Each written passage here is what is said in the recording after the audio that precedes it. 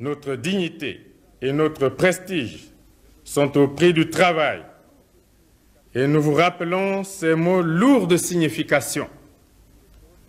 Un peuple qui ne produit pas ce qu'il consomme n'est pas un peuple libre.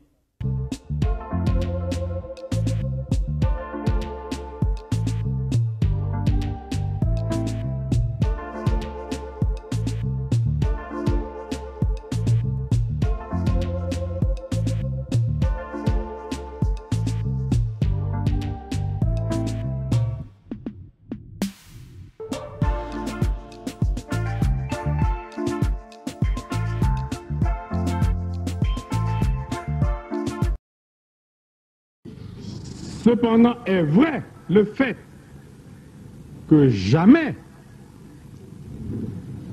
je ne pourrais accepter que la Constitution soit violée.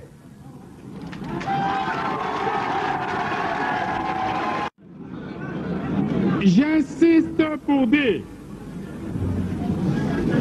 que lorsque la Constitution est violée, les démocrates ne doivent pas l'accepter.